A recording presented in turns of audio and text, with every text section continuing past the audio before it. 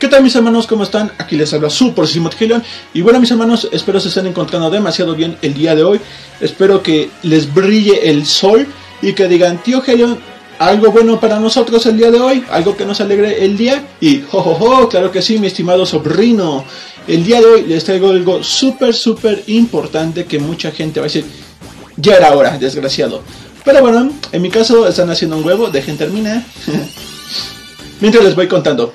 Ustedes ya sabían, mis hermanitos, que el día de su salida de Pokémon Home teníamos Lock en Solgaleo, Necrozma y Lunala para este intercambios y esos pokés aún siendo legales, lo cual nos sorprendió a todos el por qué siendo legales no se podían intercambiar y ni siquiera se podían meter incursiones. Incluso les hice una guía cómo pasarlos de 3DS hacia acá de una manera legal.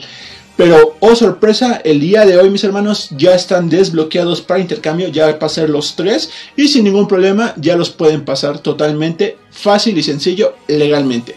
Entonces ya saben que Solgaleo y Lunala vienen desde Eclipse, ya les estaré haciendo otro video aparte. Y este Necrozma vienen con un on, ot o nick de la persona que lo tiene, es desde creo que el nombre coreano, nombre japonés. Pero el caso es de que ya, ahora sí, finalmente ya pueden entrar a, repartos de ellos mientras sean legales. Tengan cuidado con ese detalle. Si ven que viene otro entrenador, otra Pokéball, cosas así, amiguitos, chequenlo, ¿vale? Mejor no, no, no tengan Pokés ilegales. Les voy a decir, ya hice la prueba con los tres y efectivamente sí se pueden pasar sin ningún problema. Entonces, esta es la mejor noticia de todos porque ya podemos tener a Necrozma shiny con los demás hermanitos y poderlos ocupar en batalla, lo cual se va a ver bien mamalado sacando un Lunala shiny. Recuerden que este es una hermosura de poke. Pero bueno, esa es la primera gran noticia que supongo que a todos la estábamos esperando desde la salida del home.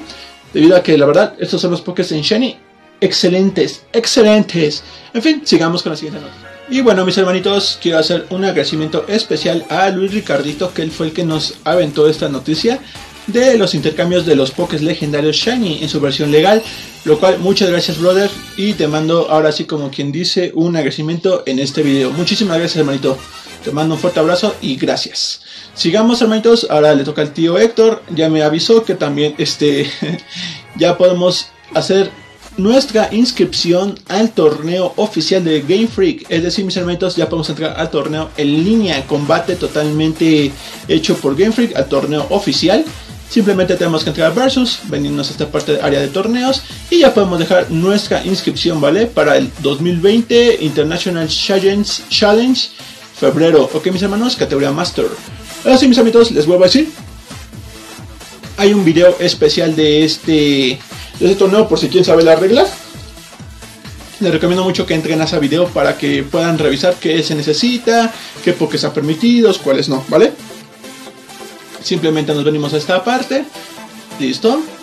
Y vamos a darle al botón de A para inscribirnos. De una vez si pueden inscribirse, inscríbanse, ¿vale? Para que después no se les vaya a hacer tarde y no puedan, ¿ok?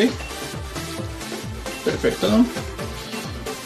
¿Listo? ¿Que inscribirte a ese torneo? Por su pollo que sí. Entonces les dejo en la caja de descripción las reglas que va a ocupar ese torneo por si quieren ustedes entrar, ¿vale? Está bastante, bastante sencillo y no hay problema de nada, ¿ok? Solamente les digo que estos torneos la gente sí se viene muy al tiro, entonces trata de traer sus mejores opciones. En fin, esta es la segunda noticia. Sigamos, hermanitos. bueno, mis hermanos, aquí seguimos con las noticias. Gracias al tío Cerebi que siempre sube las noticias más fresquecitas igual. Quiero explicarles que se viene también la tercera season, es decir, la tercera temporada del competitivo VGC. Van a cambiar obviamente de algunas reglas, ya saben, van a estar los pokés baneados, un ejemplo y tenemos a Mewtwo, Mew, Celebi, ya saben, legendarios y estilo míticos, todos esos van a estar baneados, van a estar ya permitidos a los, como dicen los Gigamax clásicos, que ahora sí ya son los normalitos, Charizard, Boulderfree, Pikachu, Meow, Kingler, Lapras, Snorlax, Corviknight, Orbetle, todos ellos mis hermanos, creo que al parecer ya van a estar permitidos al parecer.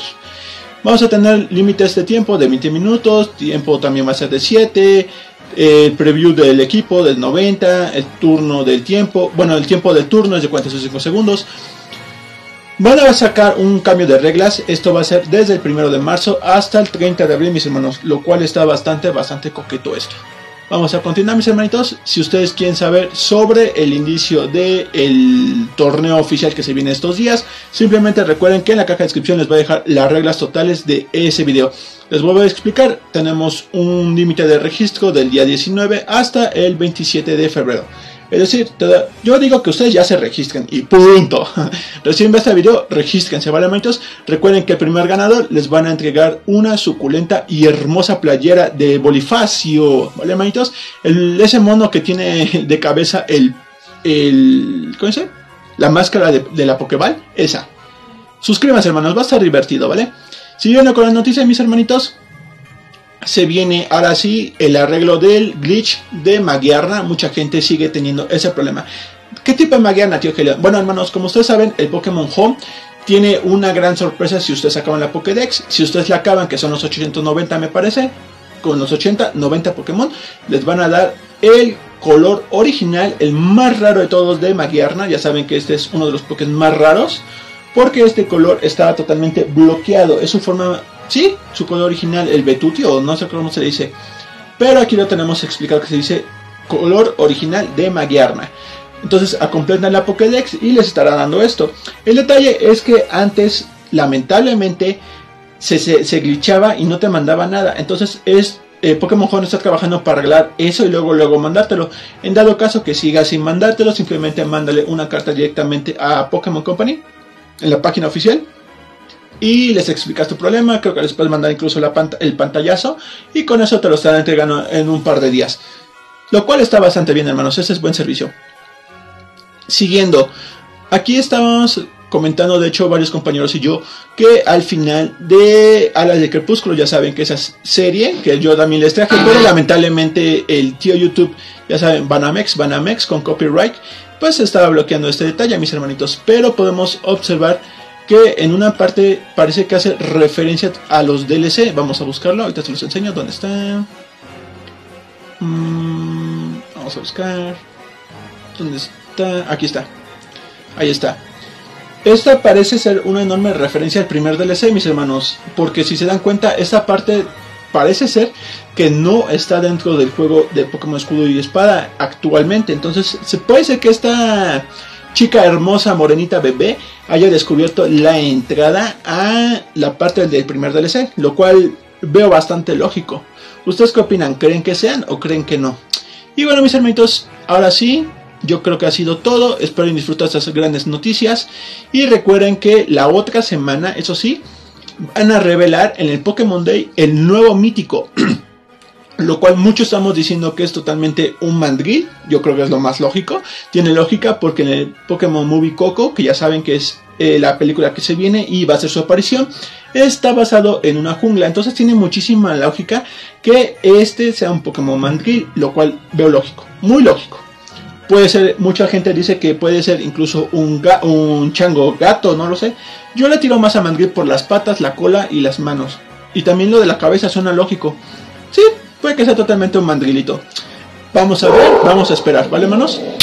En fin, ya me corren mis perros. Cuídense mucho, hermanos. Suscríbanse, dejen su like, por favor, que ya vamos a llegar a los 6000. Y recuerden que a los 8000 voy a estar rifando el primer DLC. Nos vemos, hermanitos. Cuídense, suscríbanse.